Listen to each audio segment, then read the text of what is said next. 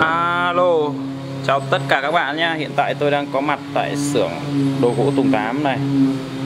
9 giờ ngày 15 tháng 5 Đây là chúng tôi đang ở trong xưởng đây Rất là nhiều đồ. Tôi sẽ đi một vòng cho quý vị tham khảo nhá. Rồi phía bên kia là xưởng sản xuất này, nó rất bụi nên tôi sẽ không qua nữa. Tôi Chỉ đi ngoài này thôi.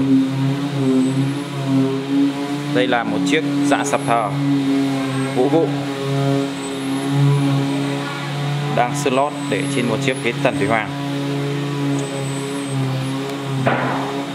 Tiếp theo bên này là có những bộ ghế gỗ mít để chồng nhau này, ghế gỗ, trong kia rồi cuốn thư câu đối, kệ tivi hương đá này, giường chữ x lọc bình, ghế ghế đỉnh rất là nhiều hàng luôn.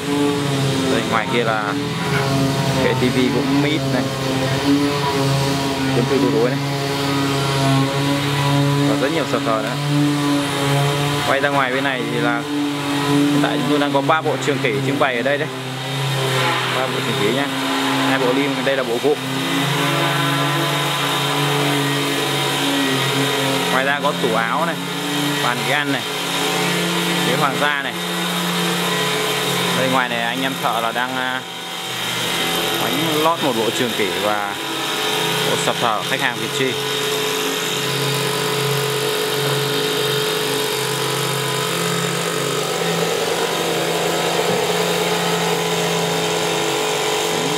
Chi rất to.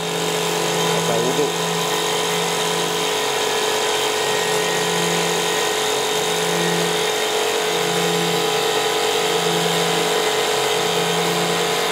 rồi, ai mua hàng thì hãy đến à, với à, đồ gỗ cùng tám nha.